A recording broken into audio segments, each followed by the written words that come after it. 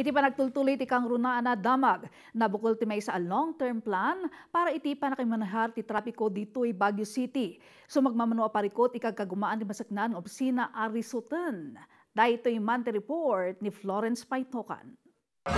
Pimintas ti gunay ti trapiko iti syudad ti Baguio gapo iti panakayakar ti staging areas dagiti jeepneys nga agbibiyahe kas maibasar iti panagadal ti Traffic Enforcement Unit ti Baguio City Police Office. Nupay kasta manamnamang umado dagiti agbiyahe alugan iti kanito nga agsublin iti normal ti sitwasyon. Dayto iti rason anang bukalda iti long-term plan when strategic plan para kadagiti lugan nga umunag kan rumar ti syudad nupay ipaayan damat dagito iti konsiderasyon.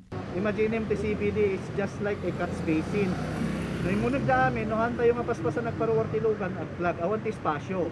Now, ti may isang amang to si Jai, problema. Innaklo na nga ado dagiti parikot ti syudad, may papan iti traffic management, kas iti kinakurang ti paradaan isut gapuna, nga impalubos dati panagparada iti sumag mamano apasat ti Session Road. Malaksid dita kat parikot damat lang ti transportation system ti syudad, gaputa ado dagiti overlapping a ruta. Gapo iti daytoy nang ipaida iti balakad, kadagiti asosasyon dagiti jeepneys, iti minalam a panagkarga kan panagdiskargada kadagiti pasahero dagitoy.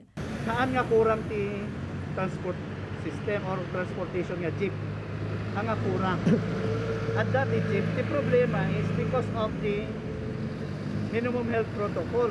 Nga dati 50% lang ang karga ti kada may isang jeep. Florence Paitokan para iti pagilian.